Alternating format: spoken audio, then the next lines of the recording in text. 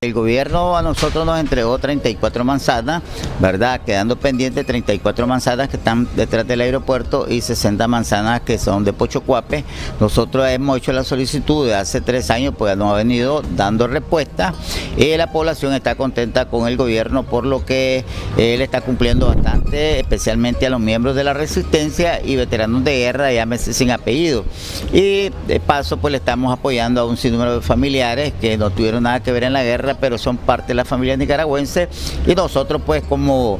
ciudadanos que estamos organizados desde hace mucho tiempo en diferentes organizaciones como es la Frente Norte 380 y PRLS, pues estamos dando respuesta en base a lo que el gobierno nos está apoyando. Nosotros hemos trabajado en lo que es este, los proyectos de calle, los proyectos de agua y luz. Ya los proyectos de, luz, ya pues tuvimos hace poco en la alcaldía de Tipitapa y el alcalde y el encargado ahí de luz y agua pues nos daban la respuesta de, este año de que sí, ya habían sido aprobados los tres transformadores para las dos ciudadelas ahí y nosotros pues estamos contentos y la población más contenta porque ya tienen agua, tienen luz, lo que sí está pendiente en las calles pues que hay que darle una pasadita, pero este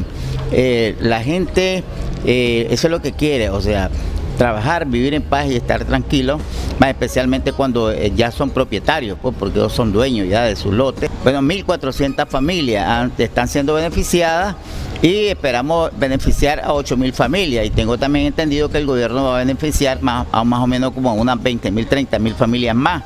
Pero en el caso suyo, de estas familias, ¿de dónde son originarias? Son de diferentes departamentos del país, especialmente miembros de la resistencia nicaragüense, comandos y comandantes, y eh, personas que también tuvieron que ver en la guerra como veteranos de guerra, del EPS, del Mingo. O sea, estamos y hemos trabajado sin distingo de colores políticos y eso hace de que nosotros tengamos confianza como veteranos de guerra en un gobierno que está trabajando por la paz y la reconciliación de este país.